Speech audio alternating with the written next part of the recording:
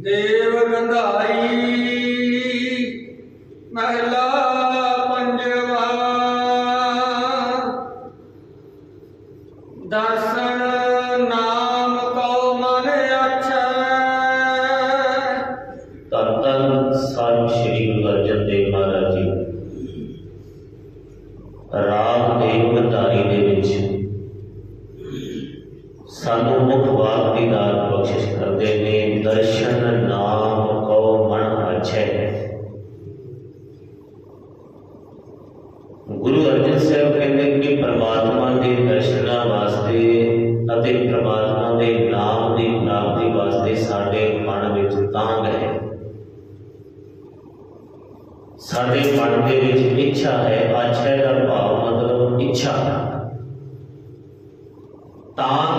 ਸਿੱਖ ਦੇ ਅੰਦਰ ਗੁਰੂ ਅਰਜਨ ਸਾਹਿਬ ਕਹਿੰਦੇ ਦਰਸ਼ਨਾਂ ਦੀ ਤੇ ਪਰਮਾਤਮਾ ਦੇ ਨਾਮ ਦੀ। ਕਿਸੇ ਵੀ ਚੀਜ਼ ਦੀ ਤਾਂਗ ਤੋਂ ਬਿਨਾ ਸਾਨੂੰ ਉਹ ਚੀਜ਼ ਪ੍ਰਾਪਤ ਨਹੀਂ ਹੋ ਸਕਦੀ ਜਿੰਨਾ ਸਮਾਂ ਸਾਨੂੰ ਇੱਛਾ ਨਹੀਂ ਹੁੰਦੀ ਜਾਗਦੀ ਅਸੀਂ ਸਤਿਗੁਰਾਂ ਦੇ ਦਰਬਾਰ ਵਿੱਚ ਆਏ ਆ ਸਾਨੂੰ ਕਥਾ ਸੁਣਨ ਦੀ ਤਾਂਗ ਸੀ ਵੀ ਕਥਾ ਸੁਣਨੀ ਹੈ ਜਾ ਕੇ। ਤਦੇ ਆਏ ਆ ਨਾ ਅਸੀਂ ਗੁਰੂ ਕੋਲ। ਜਾਂ ਕਈਆਂ ਦੇ ਮਨ ਵਿੱਚ ਇਹਦਾ ਹੁੰਦਾ ਵੀ ਗੁਰੂ ਗ੍ਰੰਥ ਸਾਹਿਬ ਇਹ ਵੀ ਤਾਂਗ ਹੈ ਇਹ ਤਾਂ ਕਾਮ ਮਹਾਰਾਜ ਕਹਿੰਦੇ ਹਮੇਸ਼ਾ ਬਣੀ ਰਵੇ ਸਾਡੇ ਅੰਦਰ। ਜਦੋਂ ਸਿੱਖ ਦੇ ਅੰਦਰ ਪਰਮਾਤਮਾ ਮਾਲਕ ਦੇ ਦਰਸ਼ਨਾਂ ਦੀ ਤਾਂਗ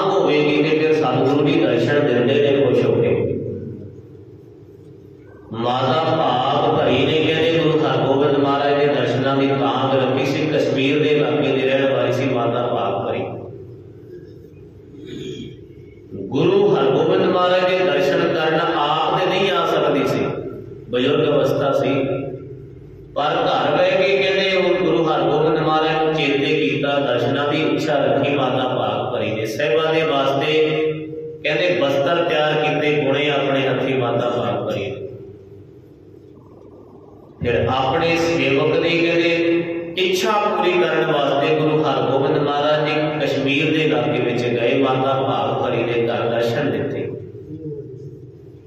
ਭਾਈ ਕੈਂਠੇ ਦਾ ਵੀ ਜ਼ਿਕਰ ਆਉਂਦਾ, ਗੁਰੂ ਹਰਗੋਬਿੰਦ ਮਹਾਰਾਜ ਦੇ ਜੀਵਨ ਦੇ ਵਿੱਚ ਅੱਖਾਂ ਤੋਂ ਅੰਨੇ ਸੀ ਭਾਈ ਕੈਂਠਾ ਜੀ। ਸੂਰਮੇ ਸਿੰਘ ਸਨ ਔਰ ਟੁੱਟੀ ਫੁੱਟੀ ਝੌਂਪੜੀ ਦੇ ਵਿੱਚ ਰਹਿੰਦੇ ਸਨ ਅੱਖਾਂ ਤੋਂ ਬਿਲਕੁਲ ਬਚਪਨ ਤੋਂ ਨਹੀਂ ਦਿਸਦਾ ਸੀ ਭਾਈ ਕੈਂਠੇ ਨੂੰ ਸਿੱਖਾਂ ਨੂੰ ਬੜਾ ਕਿਹਾ ਭਾਈ ਕੈਂਠੇ ਨੇ ਵੀ ਮੈਨੂੰ ਵੀ ਗੁਰੂ ਹਰਗੋਬਿੰਦ ਮਹਾਰਾਜ ਦੇ ਦਰਸ਼ਨ ਕਰਾ ਦਿਓ ਕੋਈ ਵੀ ਸਿੱਖ ਕਹਿੰਦੇ ਗੁਰੂ ਹਰਗੋਬਿੰਦ ਮਹਾਰਾਜ ਦੇ ਚਰਨਾਂ 'ਚੋਂ ਭਾਈ ਕੰਠੇ ਨੂੰ ਸੂਰਮੇ ਸਿੰਘ ਨੂੰ ਨਹੀਂ ਲੈ ਕੇ ਗਿਆ ਇੱਕ ਦਿਨ ਕੀ ਹੋਇਆ ਭਾਈ ਕੰਠੇ ਨੇ ਆਪਣੇ ਦਿਲੋਂ ਆਵਾਜ਼ ਦਿੱਤੀ ਸੱਚੇ ਪਾਤਸ਼ਾਹ ਮੈਨੂੰ ਤੇ ਅੱਖਾਂ ਤੋਂ ਨਹੀਂ ਦਿਸਦਾ ਮੈਂ ਤੁਹਾਡੇ ਚਰਨਾਂ 'ਚ ਨਹੀਂ ਆ ਸਕਦਾ ਕਿਰਪਾ ਕਰ ਦਿਓ ਤੁਸੀਂ ਆ ਜਾਓ ਮੇਰੇ ਕੋਲ ਫਿਰ ਕਹਿੰਦੇ ਭਾਈ ਕੰਠੇ ਦੀ ਫਰਿਆਦ ਸੁਣੀ ਗੁਰੂ ਹਰਗੋਬਿੰਦ ਮਹਾਰਾਜ ਨੇ ਆਪ ਘੋੜੇ ਤੇ ਚੱਲ ਕੇ ਭਾਈ ਕੰਠੇ ਦੇ ਦਰਬਾਰ ਦੇ ਵਿੱਚ ਆਏ ਉਹਦੇ ਦਰ ਅੱਗੇ ਆ ਕੇ ਖੜੇ ਕਹਿੰਦੇ ਭਾਈ ਕੰਠਿਆ ਜਿਨ੍ਹਾਂ ਨੂੰ ਕੋਈ ਯਾਦ ਕਰਦਾ ਹੈ ਤੇਰੇ ਸਾਹਮਣੇ ਖੜੇ ਨੇ ਸੱਚੇ ਪਾਤਸ਼ਾਹ ਮੈਨੂੰ ਤੇ ਦਿਸਦਾ ਨਹੀਂ ਮੈਂ ਕਿਵੇਂ ਦਰਸ਼ਨ ਕਰਾਂ ਤੁਹਾਡੇ ਮਹਾਰਾਜ ਦੇ ਸਿਰ ਤੇ ਹੱਥ ਰੱਖਿਆ ਜੀ ਅੱਖਾਂ ਦੀ ਦ੍ਰਿਸ਼ਟੀ ਆ ਗਈ ਸਤਿਗੁਰੂ ਗੁਰੂ ਗ੍ਰੰਥ ਸਾਹਿਬ ਮਹਾਰਾਜ ਦੇ ਵਾਹਿਗੁਰੂ ਗੁਰੂ ਹਰਗੋਬਿੰਦ ਮਹਾਰਾਜ ਦੇ ਦਰਸ਼ਨ ਕੀਤੇ ਸਭ ਨਾਲੋਂ ਪਹਿਲਾਂ ਬਚਪਨ ਤੋਂ ਨਹੀਂ ਦਿਸਦਾ ਸੀ। ਪਰ ਜਦੋਂ ਸਹਿਬ ਨੇ ਕਿਰਪਾ ਕੀਤੀ, ਅੱਖਾਂ ਤੋਂ ਦਿਸਣਾ ਸ਼ੁਰੂ ਹੋ ਗਿਆ, ਸਾਡੇ ਵਰਗਾ ਹੁੰਦਾ ਵੀ ਅੱਖਾਂ ਤੋਂ ਦਿਸਣ ਲੱਗ ਗਿਆ, ਦੇਖੀਏ ਜਾ ਕੇ ਦੁਨੀਆ। ਗੁਰੂ ਨੂੰ ਬਾਅਦ ਵਿੱਚ ਵੇਖਣਾ ਸੀ ਅਸੀਂ। ਪਹਿਲਾਂ ਰੰਗ ਤਮਾਸ਼ਿਆਂ ਵੱਲ ਭਜਦੇ, ਅਸੀਂ ਵੀ ਚਲੋ ਚੱਲੀਏ। ਪਰ ਭਾਈ ਕੰਠੇ ਨੇ ਸਭ ਨਾਲੋਂ ਪਹਿਲਾਂ ਗੁਰੂ ਹਰਗੋਬਿੰਦ ਮਹਾਰਾਜ ਦੇ ਦਰਸ਼ਨ ਕੀਤੇ ਭਾਈ ਕੰਠੇ ਨੂੰ ਗੁਰੂ ਹਰਗੋਬਿੰਦ ਮਹਾਰਾਜ ਕਹਿੰਦੇ ਭਾਈ ਕੰਠਿਆ ਹੋਰ ਕੋਈ ਤੇਰੀ ਇੱਛਾ ਹੈ ਪਤਾ ਕੀ ਕਿਹਾ ਭਾਈ ਕੰਠਾ ਕਹਿੰਦਾ, ਸੱਚੇ ਪਾਤਸ਼ਾਹ, ਮੈਂ ਹੋਰ ਕੋਈ ਇੱਛਾ ਨਹੀਂ ਰੱਖਦਾ ਆਪਣੇ ਮਨ ਵਿੱਚ, ਬਸ ਇੱਕੋ ਇੱਛਾ ਹੈ ਤੁਹਾਡੇ ਦਰਸ਼ਨ ਹੋ ਗਏ ਨਾ ਅੱਖਾਂ ਨਾਲ। ਹੁਣ ਉਸੇ ਤਰ੍ਹਾਂ ਮੈਨੂੰ ਅੰਨਾ ਕਰ ਦਿਓ ਕਿਉਂਕਿ ਇਹਨਾਂ ਅੱਖਾਂ ਨਾਲ ਮੈਂ ਕਿਸੇ ਦੁਨਿਆਵੀ ਚੀਜ਼ ਜਾਂ ਦੁਨਿਆਵੀ ਬੰਦੇ ਦੇ ਮੈਂ ਦਰਸ਼ਨ ਨਾ ਕਰ। ਆਪੋ ਸਤਨਾਮ। ਇਹੋ ਜਿਹੇ ਵੀ ਸਿੱਖ ਸੀ। ਕਹਿੰਦਾ, ਮਹਾਰਾਜ, ਮੈਨੂੰ ਦੁਬਾਰਾ ਅੰਨਾ ਕਰ ਦੋ ਉਸੇ ਤਰ੍ਹਾਂ ਮੈਨੂੰ ਤੁਹਾਡੇ ਦਰਸ਼ਨ ਹੋ ਗਏ, ਮੈਨੂੰ ਕਾਹਦੀ ਇੱਛਾ ਹੋ ਰਹੀ? ਇਸ ਕਰਕੇ ਗੁਰੂ ਸਾਹਿਬ ਕਹਿੰਦੇ ਇੱਛਾ ਹੋਵੇ ਸਿੱਖ ਦੇ ਮਨ ਵਿੱਚ ਤੇ ਸਤਿਗੁਰੂ ਜੀ ਆਪਣੇ ਸਿੱਖ ਦੀ ਇੱਛਾ ਜਿਹੜੀ ਪੂਰੀ ਕਰਦੇ ਨੇ। ਭ੍ਰਮ ਆਇਓ ਸਗਲ ਥਾਨ ਰੇ। ਕਾਹੇ ਪਰਿਓ ਸੰਤ ਪਾਛੈ। ਸਤਿਗੁਰੂ ਗੁਰੂ ਅਰਜਨ ਦੇਵ ਮਹਾਰਾਜ ਜੀ ਕਹਿੰਦੇ ਬਹੁਤ ਜਨਮ ਹੋ ਗਏ ਸਾਨੂੰ ਭਟਕਦਿਆਂ ਨੂੰ ਵਾਹਿਗੁਰੂ ਜੀ ਭ੍ਰਮ ਆਇਓ ਹੈ ਸਗਲ ਥਾਨ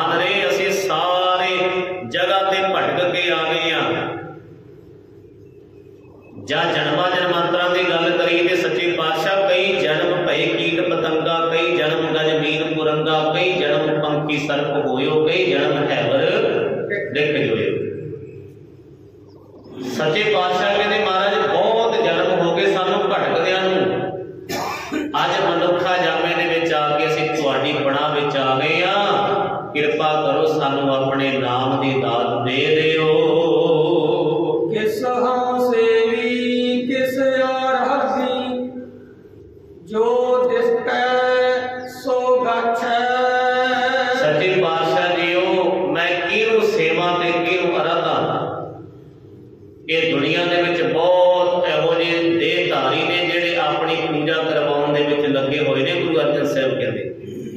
ਕਿਸ ਹਉ ਸੇਵੀ, ਕਿਹਦੀ ਮੈਂ ਸੇਵਾ ਕਰਾਂ ਤੇ ਕੀ ਅਰਾਧਾ ਸੱਚੇ ਪਾਤਸ਼ਾਹ ਮੈਨੂੰ ਕੋਈ ਸਮਝ ਨਹੀਂ ਜੇ ਕਿਉਂ ਨਹੀਂ ਸਮਝ ਸੱਚੇ ਪਾਤਸ਼ਾਹ ਕਹਿੰਦੇ ਜੋ ਤੂੰ ਦੇਖ ਰਿਹਾ ਬੰਦਿਆ ਸਭ ਜਿਹੜਾ ਹੈ ਉਹ ਨਾਸ਼ਵੰਤ ਹੈ ਗੱਛ ਹੈ ਗੱਛ ਹੈ ਦਾ ਮਤਲਬ ਹੁੰਦਾ ਖਤਮ ਹੋਣ ਵਾਲਾ ਜੋ ਸੰਸਾਰ ਦੇ ਵਿੱਚ ਅਸੀਂ ਅੱਖਾਂ ਦੇ ਨਾਲ ਦੇਖਦੇ ਹਾਂ ਸਾਰੀਆਂ ਚੀਜ਼ਾਂ ਨਾਸ਼ਵੰਤ ਨੇ ਖਤਮ ਹੋਣ ਵਾਲੀਆਂ ਨੇ।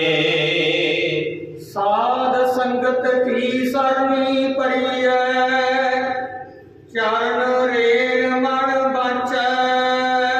ਧੰਨ ਗੁਰੂ ਅਰਜਨ ਦੇਵ ਮਹਾਰਾਜ ਕਹਿੰਦੇ ਕਿਸੇ ਵੀ ਦਰ ਤੇ ਤੈਨੂੰ ਜਾਣ ਦੀ ਲੋੜ ਨਹੀਂ ਬੰਦਿਆ ਬਸ ਇੱਕੋ ਸਤਿਗੁਰਾਂ ਦੀ ਸਾਧ ਸੰਗਤ ਵਿੱਚ ਆ ਜਾ। ਇਹ ਸਾਧ ਸੰਗਤ ਨੂੰ ਬਹੁਤ ਵੱਡੀ ਬਖਸ਼ਿਸ਼ ਤੇ ਵਡਿਆਈ ਦਿੱਤੀ ਹੈ ਪ੍ਰਮਾਤਮਾ ਨੇ ਪੜ੍ਹਦੇ ਆ ਨਾ ਆਪਾਂ ਵਿੱਚ ਸੰਗਤ ਹਰ ਪ੍ਰਭ ਵਸੈ। ਵਸੈ ਜੀ ਇੱਥੇ ਰੱਬ ਵਸਦਾ ਹੈ ਸਾਧ ਸੰਗਤ ਵਿੱਚ। ਸੱਚੇ ਪਾਤਸ਼ਾਹ ਨੇ ਇਹਨੂੰ ਚਟਸਾਲ ਕਹਿ ਦਿੱਤਾ ਸਤ ਸੰਗਤ ਚਟਸਾਲ ਹੈ। ਇੱਥੇ ਆ ਕੇ ਅਸੀਂ ਚੰਗੇ ਗੁਣ ਸਿੱਖਣੇ ਆ ਗੁਰੂ ਦੇ ਕੋਲ ਆ ਕੇ ਇਸ ਸਾਧ ਸੰਗਤ ਰੂਪੀ ਸਕੂਲ ਦੇ ਵਿੱਚ। ਆ ਸਕੂਲ ਹੀ ਹੈ ਕਿ ਜਿੱਥੇ ਅਸੀਂ ਬੈਠੇ ਆ। ਸਿੱਖੀ ਦਾ ਸਕੂਲ ਗੁਰੂ ਨਾਨਕ ਦੇ ਘਰ ਦਾ ਸਕੂਲ। ਪਰ ਮਾਫ ਕਰਨਾ ਦੁਨਿਆਵੀ ਤੌਰ ਤੇ ਵੇਖਦੇ ਆ ਨਾ ਅਸੀਂ ਜਦੋਂ ਸਕੂਲ ਤੇ ਟੀਚਰ ਉਹਨਾਂ ਸਮਾਂ ਹੀ ਪੜਾਉਂਦਾ ਬੱਚਿਆਂ ਨੂੰ ਜਿੰਨਾ ਸਮਾਂ ਬੱਚੇ ਕਲਾਸ ਦੇ ਵਿੱਚ ਹੋਣ। ਜਾਂ ਇੱਕ ਹੋਰ ਉਦਾਹਰਨ ਲੈ ਲਈਏ ਵੀ ਜਿੰਨਾ ਸਮਾਂ ਅਸੀਂ ਕਮਰੇ ਦੇ ਵਿੱਚ ਪਏ ਹੋਈਏ, ਪੱਖਾ ਉਹਨਾਂ ਸਮਾਂ ਹੀ ਚੱਲਦਾ ਹੈ ਜੇ ਆਪਾਂ ਕਮਰੇ ਤੋਂ ਬਾਹਰ ਆ ਜਾਂਦੇ ਆ, ਪਹਿਲਾਂ ਪੱਖਾ ਬੰਦ ਕਰਕੇ ਜਾਂਦੇ ਆ, ਬਾਹਰ ਵੀ ਚਲੋ। ਜਾਂ ਜਿੰਨਾ ਸਮਾਂ ਅਸੀਂ ਗੱਡੀ ਦੇ ਵਿੱਚ ਬੈਠੇ ਆ ਉਹਨਾਂ ਸਮਾਂ ਹੀ ਗੱਡੀ ਸਟਾਰਟ ਰੱਖਦੇ ਆ, ਬੰਦ ਕਰ ਦਿੰਦੇ ਆ। ਜਦੋਂ ਬਾਹਰ ਆਉਂਦੇ ਆ। ਟੀਚਰ ਉਹਨਾਂ ਸਮਾਂ ਬੱਚਿਆਂ ਨੂੰ ਪੜਾਉਂਦਾ ਜਿੰਨਾ ਸਮਾਂ ਬੱਚੇ ਹਾਜ਼ਰ ਹੈ ਕਲਾਸ ਵਿੱਚ, ਜੇ ਬੱਚੇ ਕਲਾਸ ਦੇ ਵਿੱਚੋਂ ਚਲੇ ਜਾਣ ਟੀਚਰ ਕਹੇਗਾ, ਮੈਂ ਕਿਹਨੂੰ ਪੜਾਵਾਂ ਇਹ ਤੇ ਹੋ ਗਈ ਦੁਨਿਆਵੀ ਸਕੂਲ ਦੀ ਗੱਲ। ਪਰ ਮੇਰੇ ਗੁਰੂ ਨਾਨਕ ਦੇ ਘਰ ਦਾ ਸਕੂਲ ਐਸਾ ਹੈ, ਗੁਰੂ ਗ੍ਰੰਥ ਸਾਹਿਬ ਮਹਾਰਾਜ ਤੇ ਗ੍ਰੰਥੀ ਸਿੰਘ ਇਕੱਲੇ ਪੜ੍ਹੀ ਜਾਂਦੇ ਹੁੰਦੇ, ਅਸੀਂ ਹੁੰਦੇ ਨਹੀਂ ਕੋਲੇ। ਇਹ ਐਸਾ ਸਕੂਲ ਹੈ ਸਾਡਾ। ਇਹ ਸਾਡੀ ਅਣਗਹਿਲੀ ਹੈ। ਸਾਡੀ ਮਨਮਤ ਹੈ, ਇਹ ਮਹਾਰਾਜ ਕਹਿੰਦੇ। ਅਸੀਂ ਮਨ ਦੇ ਪਿੱਛੇ ਲੱਗ ਕੇ ਗੁਰੂ ਸਾਹਿਬ ਦਾ ਸਤਿਕਾਰ ਕਰਨਾ ਛੱਡ ਦਿੱਤਾ। ਘਰਾਂ ਦੇ ਵਿੱਚ ਬਾਣੀ ਦਾ ਪਾਠ ਕਰਵਾਉਣੇ ਕੋਲ ਬਹਿ ਕੇ ਸੁਣਿਆ ਕਰੀਏ ਗੁਰੂ ਸਾਹਿਬ ਦੇ ਕੋਲ। ਬੈਠਿਆ ਕਰੀਏ। ਇਸੇ ਕਰਕੇ ਮਹਾਰਾਜ ਨੇ ਕਹਿ ਦਿੱਤਾ, ਸਤ ਸੰਗਤ ਚਟਸਾਲ ਹੈ ਜਿਤ ਹਰ ਗੁਣ ਸਿੱਖਾ। ਇੱਥੇ ਬਹਿ ਕੇ ਸਿੱਖਣਾ ਅਸੀਂ ਗੁਰੂ ਦੇ ਕੋਲ। ਇਸ ਕਰਕੇ ਮਹਾਰਾਜ ਜੀ ਕਹਿੰਦੇ, ਸਾਧ ਸੰਗਤ ਕੀ ਸ਼ਰਣੀ ਪਰੀ ਹੈ? ਆ ਸਤਿਗੁਰਾਂ ਦੀ ਸਾਧ ਸੰਗਤ ਵਿੱਚ ਆਓ। ਅੱਗੇ ਕਹਿੰਦੇ, ਚਰਨ ਰੇਨ ਮਨ ਬਾਛੈ ਔਰ ਮਨ ਦੇ ਵਿੱਚ ਤੇਰੀ ਇੱਛਾ ਹੋਵੇ ਵੀ ਰੱਬ ਦੇ ਪਿਆਰਿਆਂ ਦੀ ਚਰਨ ਧੂੜ ਮਿਲ ਜਾਵੇ ਕਿਤੇ। ਬੰਦਗੀ ਕਰਨ ਵਾਲਿਆਂ ਦੀ ਚਰਨ ਧੂੜ ਮੰਗਿਆ ਕਰ ਸਤਿਗੁਰਾਂ ਦੇ ਕੋਲ ਆ ਕੇ। ਤੇ ਬੰਦਗੀ ਕਰਨ ਵਾਲਿਆਂ ਦੀ ਚਰਨ ਧੂੜ ਵਿੱਚ ਬੜੀ ਪਾਵਰ ਹੈ ਜੀ, ਬੜੀ ਸ਼ਕਤੀ ਹੈ। ਜਿਨ੍ਹਾਂ ਨੂੰ ਅਸੀਂ ਰੋਜ਼ ਚੇਤੇ ਕਰਦੇ ਹਾਂ, ਅਰਦਾਸ ਦੇ ਵਿੱਚ ਚਰਖੜੀਆਂ ਤੇ ਚੜੇ ਤਨ ਆਰਿਆ ਨਾਲ ਚਿਰਾਏ। ਜੇਕਰ ਉਹਦਾ ਅਰਦਾਸ ਭਾਈ ਸੁਬੇਗ ਸਿੰਘ ਜੀ ਦਾ, ਜਿਨ੍ਹਾਂ ਨੂੰ ਚਰਖੜੀ ਤੇ ਚੜ੍ਹ ਦਿੱਤਾ ਗਿਆ ਸੀ। ਭਾਈ ਸੁਬੇਗ ਸਿੰਘ ਦਾ ਪੁੱਤਰ ਸੀ ਸਹਿਬਾਨ ਸਿੰਘ। ਸਾਧ ਸੰਗਤ ਜੀ, ਜਦੋਂ ਲਾਹੌਰ ਦੇ ਸੂਬੇਦਾਰ ਨੇ ਇਹਨਾਂ ਨੂੰ ਆਪਣੇ ਧਰਮ ਦੇ ਵਿੱਚ ਸਮੂਲੀਅਤ ਕਰਨ ਵਾਸਤੇ ਕਿਹਾ ਵੀ ਤੁਸੀਂ ਸਾਡੇ ਮੁਸਲਮਾਨ ਧਰਮ ਦੇ ਵਿੱਚ ਸ਼ਾਮਲ ਹੋ ਜਾਓ। ਭਾਈ ਸੁਵੇਗ ਸਿੰਘ ਨੇ ਕਹਿੰਦੇ ਨਾ ਕਰ ਦਿੱਤੀ ਵੀ ਮੈਂ ਤੁਹਾਡਾ ਜਿਹੜਾ ਧਰਮ ਹੈ ਕਬੂਲ ਨਹੀਂ ਕਰ ਸਕਦਾ ਲਾਹੌਰ ਦਾ ਸੂਬੇਦਾਰ ਭਾਈ ਸੁਵੇਗ ਸਿੰਘ ਨੂੰ ਕਹਿੰਦਾ, ਕਿਉਂ ਆਪਣੀ ਕੁੱਲ ਨੂੰ ਖਤਮ ਕਰਨ ਲੱਗਿਆ ਇਹ ਬਾਜਾਂ ਵਾਲੇ ਦੇ ਪਿੱਛੇ ਲੱਗ ਕੇ ਸਾਡਾ ਧਰਮ ਕਬੂਲ ਕਰਨਾ ਜੋ ਤੈਨੂੰ ਰਾਜ ਚਾਹੀਦਾ, ਰਾਜ ਦੇ ਦਾਂਗੇ, ਮੁਕਤੀ ਚਾਹੀਦੀ ਮੁਕਤੀ ਦੇ ਦਾਂਗੇ। ਤੇ ਰੱਬ ਦੇ ਪਿਆਰੇ ਹਮੇਸ਼ਾ ਹੀ ਇਹ ਕਹਿੰਦੇ ਰਾਜ ਨਾ ਚਾਹੋ, ਮੁਕਤ ਨਾ ਚਾਹੋ, ਮਨ ਪ੍ਰੀਤ ਚਰਨ ਕਮਲਾਏ ਉਹ ਕਹਿੰਦੇ, ਸਾਡੀ ਤੇ, ਸਾਨੂੰ ਤੇ ਪ੍ਰੀਤੀ ਚਾਹੀਦੀ ਨਾ ਰਾਜ ਭਾਗ ਚਾਹੀਦਾ, ਸਾਨੂੰ ਨਾ ਮੁਕਤੀ ਚਾਹੀਦੀ।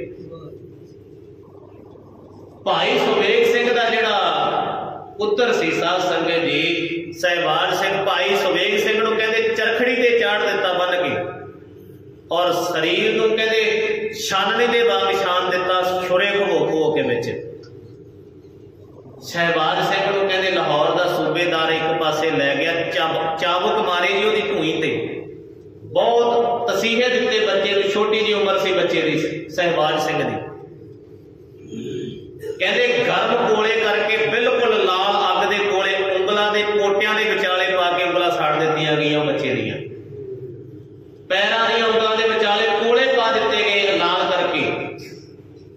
ਬਿਲਕੁਲ ਪਸੀਨੇ ਦਿੱਤੇ ਸਾਧ ਸੰਗਤ ਜੀ, ਉਹ ਬੱਚਾ ਡਰ ਗਿਆ। ਬੱਚੇ ਨੂੰ ਕਹਿੰਦਾ, ਤੇਰਾ ਬਾਪ ਝੂਠਾ ਹੀ ਕਹਿ ਦਿੱਤਾ। ਸੂਬੇਦਾਰ ਨੇ ਕਹਿੰਦਾ, ਤੇਰਾ ਬਾਪ ਤੇ ਧਰਮ ਕਬੂਲ ਕਰ ਗਿਆ, ਤੂੰ ਕਿਉਂ ਜਾਣ ਗਵਾਉਣਾ ਹੈ ਉਹ ਬੱਚੇ ਨੇ ਜੀ ਸਿਰ ਹਿਲਾਤਾ।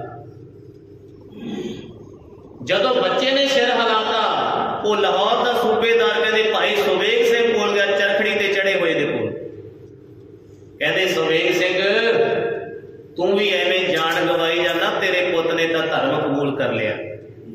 ਸੁਵੇਗ ਸਿੰਘ ਕਹਿੰਦਾ, ਸੂਬੇਦਾਰਾ, ਮੇਰੇ ਲਾਲ ਦੇ ਮੈਂ ਦਰਸ਼ਨ ਕਰਨੇ ਚਾਹਣਾ ਮੇਰੇ ਲਾਲ ਨੂੰ ਮੇਰੇ ਕੋਲ ਬੁਲਾ ਕੇ ਲਿਆ।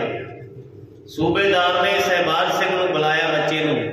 ਸਾਹਮਣੇ ਆਇਆ ਆਪਣੇ ਪਿਤਾ ਨੇ ਕਹਿੰਦੇ ਜਦੋਂ ਸੁਵੇਗ ਸਿੰਘ ਨੇ ਆਪਣੇ ਬੱਚੇ ਦੀ ਮੱਥੇ ਦੀਆਂ ਲਕੀਰਾਂ ਪੜੀਆਂ ਤੇ ਕੋਈ ਕਰਮ ਮਾੜਾ ਸੀ, ਜਿਹਦੇ ਕਰਕੇ ਸਿਰ ਹਿਲਾਉਣਾ ਪੈ ਗਿਆ। ਹੁਣ ਸਹਿਬਾਨ ਸਿੰਘ ਨੂੰ ਆਪਣੇ ਕੋਲ ਬੁਲਾਇਆ ਲਾਲ ਜੀ ਇੱਧਰ ਆਓ ਜਦੋਂ ਬੱਚਾ ਕੋਲ ਗਿਆ ਭਾਈ ਸੁਵੇਗ ਸਿੰਘ ਦੇ ਪੈਰਾਂ ਨੂੰ ਮਿੱਟੀ ਲੱਗੀ ਹੋਈ ਸੀ ਤੇ ਬਾਜਾਂ ਵਾਲੇ ਪ੍ਰੀਤਮ ਦੇ ਚਰਨਾਂ ਦਾ ਧਿਆਨ ਕਰਿਆ ਸੱਚੇ ਪਾਤਸ਼ਾਹ ਕਿਰਪਾ ਕਰ ਆ ਮੇਰਾ ਬੱਚਾ ਡੋਲ ਰਿਹਾ ਇਹਦੇ ਤੇ ਮੇਰਾ ਭਰਿਆ ਹੱਥ ਰੱਖ ਸੁਵੇਗ ਸਿੰਘ ਨੇ ਆਪਣੇ ਪੈਰ ਦਾ ਮੁੱਠਾ ਆਪਣੇ ਬੱਚੇ ਦੇ ਮੱਥੇ ਤੇ ਲਾਇਆ ਤੇ ਨਾਲ ਦੇ ਨਾਲ ਕਹਿੰਦੇ ਉਹ ਜਿਹੜੀ ਮਰਨ ਬੁੱਧੀ ਸੀ ਖਤਮ ਹੋ ਗਈ ਤੇ ਗਿਆਨ ਹੋ ਗਿਆ। ਇਹਦਾ ਮਤਲਬ ਕਹਿ ਸਕਦੇ ਆ ਬਾਣੀ ਵਿੱਚ ਚਰਨ ਰੇਣ ਮਨ ਬਚ ਵੀ ਚਰਨ ਧੂੜ ਵਿੱਚ ਬੜੀ ਪਾਵਰ ਹੈ, ਜਿਹੜਾ ਬੱਚਾ ਪਹਿਲਾਂ ਹਾਂ ਭਰ ਗਿਆ ਸੀ ਵੀ ਮੈਂ ਮੁਸਲਮਾਨ ਕਬੂਲ ਕਰ ਲਿਆ। ਥੋੜੇ ਸਮੇਂ ਬਾਅਦ ਜਦੋਂ ਚਰਨ ਧੂੜ ਲੱਗੀ ਮੱਥੇ ਨਾਲ, ਤੇ ਸਾਧ ਸੰਗਤ ਜੀ ਉਹੀ ਬੱਚੇ ਨੇ ਜਵਾਬ ਦਿੱਤਾ, ਲਾਹੌਰ ਦੇ ਸੂਬੇਦਾਰ ਕਹਿੰਦਾ ਮਰਨੇ ਮਰ ਜਾਵਾਂਗੇ, ਪਰ ਤੇਰਾ ਧਰਮ ਕਬੂਲ ਨਹੀਂ ਕਰਾਂਗੇ। ਇਸ ਕਰਕੇ ਮਹਾਰਾਜ ਜੀ ਕਹਿੰਦੇ, ਹਮੇਸ਼ਾ ਸਤਿਗੁਰਾਂ ਦੀ ਸਾਧ ਸੰਗਤ ਵਿੱਚ ਆਇਆ ਕਰੋ। ਆਪਕੇ ਸਾਧੂ ਸੰਗਤ ਸੰਤਾਂ ਦੀ ਜਿਹੜੇ ਰੱਬ ਦੀ ਭਗਤੀ ਕਰਨ ਵਾਲੀਆਂ ਰੰਗੀਆਂ ਹੋਈਆਂ ਰੂਹਾਂ ਨੇ ਉਹਨਾਂ ਦੀ ਚਰਨ ਧੂੜ ਮੰਗਿਆ ਕਰੋ। ਜੁਗਤ ਨਾ ਜਾਣਾ ਗੁਣ ਨਹੀਂ ਕੋਈ ਮਹਾਦੁਤਰ ਮਾਏ ਅਛੈ ਇਹ ਮਾਲਕ ਜੀ ਇਹ ਸੰਸਾਰ ਦੀ ਮਾਇਆ ਜਿਹੜੀ ਇਹ ਬੜਾ ਗਹਿਰਾ ਸਮੁੰਦਰ ਹੈ ਸੰਸਾਰ। ਮਹਾਰਾਜ ਇਹਨੂੰ ਭਵ ਦੀ ਮੈਨੂੰ ਕੋਈ ਯੁਕਤੀ ਨਹੀਂ ਪਤਾ ਵੀ ਕਿਹੜੇ ਤਰੀਕੇ ਨਾਲ ਮੈਂ ਲੰਘ ਸਕਦਾ ਪਰ ਜੁਗਤ ਨਾ ਜਾਣਾ ਗੁਣ ਨਹੀਂ ਕੋਈ ਨਾ ਮੇਰੇ ਵਿੱਚ ਕੋਈ ਚੰਗਾ ਗੁਣ ਹੈ ਵੀ ਮੈਂ ਮਾਇਆ ਦੇ ਪ੍ਰਭਾਵ ਤੋਂ ਬਚ ਜਾਵਾਂ ਸੱਚੇ ਪਾਤਸ਼ਾਹ ਜੀ ਇਹ ਬੜਾ ਔਖਾ ਹੈ ਦੁੱਤਰ ਦੁੱਤਰ ਦਾ ਮਤਲਬ ਬੜਾ ਔਖਾ ਇਹ ਭਵ ਸਾਗਰ ਸਮੁੰਦਰ ਤੋਂ ਕਿਵੇਂ ਤਰਾਂਗਾ ਆਏ ਪਇਓ ਨਾਨਕ ਗੁਰ ਚਰਨੀ ਤਉ ਪੁੱਤਰੀ ਸਗਲ ਦੁਰਛੈ